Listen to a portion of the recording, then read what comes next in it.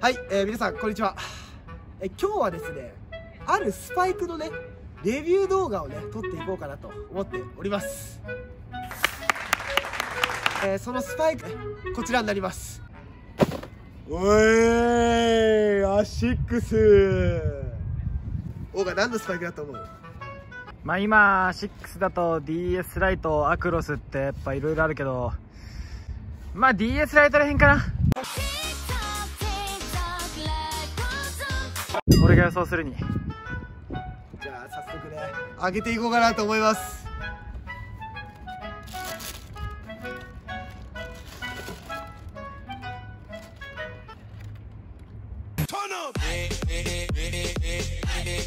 えーということで今回買わさせていただいたスパイクはじゃじゃん、えー DS ライトのアクロス2をね買わさせていただきました。めっちゃかっこよくないこれやばいね金白。これやばいね一番かっこいい色。まあ今日はですね、えーレビューもしつつしっかりそのね感謝をね噛み締めながらねプレイしていきたいなと思います。はいではね早速ねやっていきたいなと思います。では行きましょう。い行きます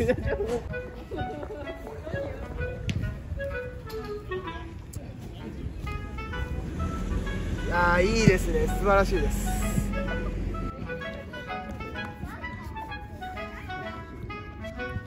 完璧。アジアジリティやった方がいいねアジリティねバカじゃんバカじゃんバカじゃん。怖い怖い。俺こうサイドステップサイドステップ。おっ。そおっ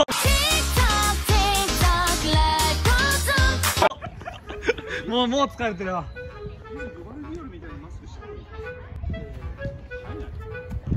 顔が映えないって。失礼なこと言ってんな。顔が映えない。ファウルしないよみんな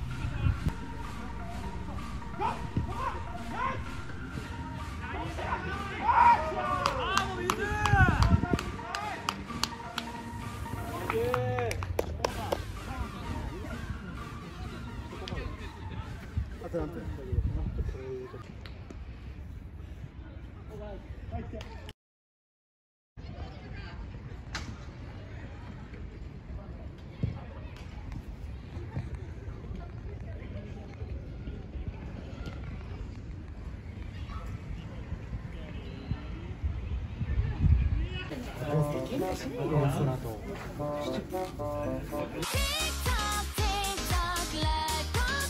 ないでよそらと初めての YouTube ですよちょっと全然映ってないけど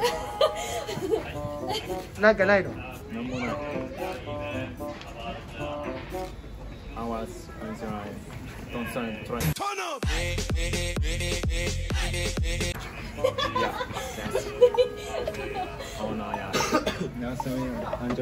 Спрашивала, слушаю, кричала, за, за, спрашивала, да, да, слушаю, слушаю.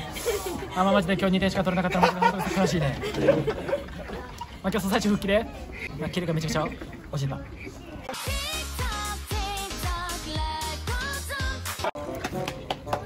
スプラッシュアンダー、ガルチャモいつまでやんだよおそれでは、夜川のみ、行き行きたいと思います。 いあ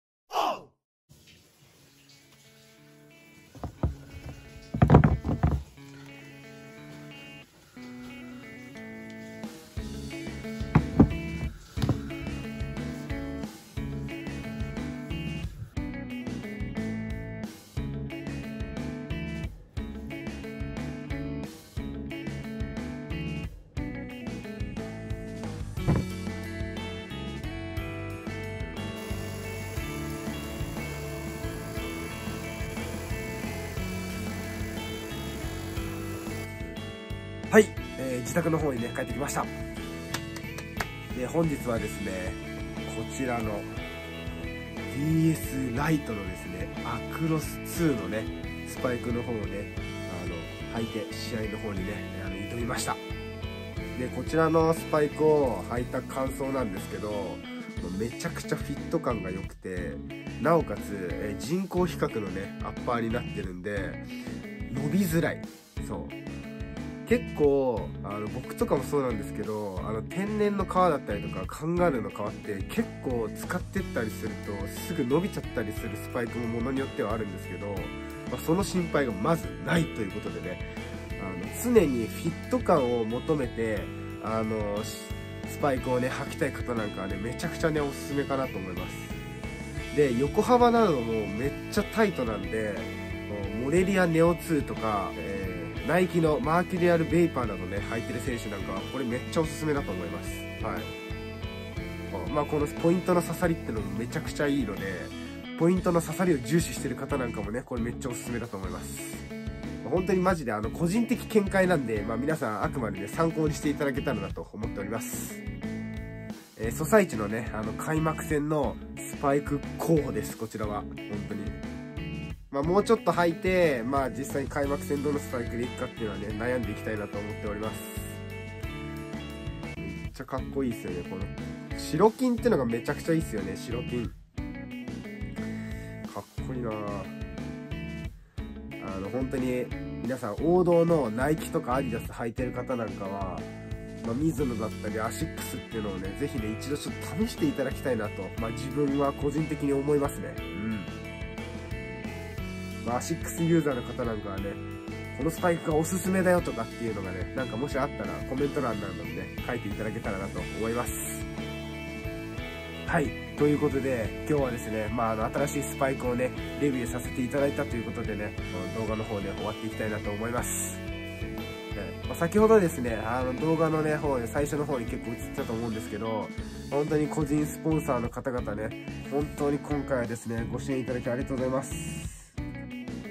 えーまだですね2023年がね始まったばっかりなんですけどもう本当に今シーズンですねもう皆さんに支えられているなっていうのがめちゃくちゃ 伝わってます、えーなので本当にね、えー来週のね全国大会の予選だったりとかえーソサイチの開幕戦に向けてねやるべきことをねやるだけだなと思ってます。まあ皆さん本当にお時間ある方ねぜひ会場でねあの僕たちレーブユナイテッドの試合を見に来ていただけたらなと思います、えー必ずね熱い試合をねお届けしたいなと思ってますのでぜひ期待して来てくれたらなと思います。ということでねあの今日はね動画の方終わっていきたいなと思います、えーいつもね動画のご視聴ありがとうございます、えー引き続きね水島勇気の応援のほどねよろしくお願いいたします。